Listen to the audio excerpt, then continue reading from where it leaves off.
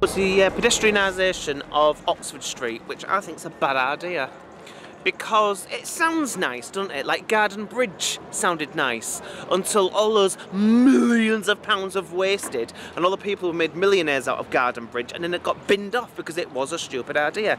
Such as is um, pedestrianisation of Oxford Street because it's just going to be covered in chewy.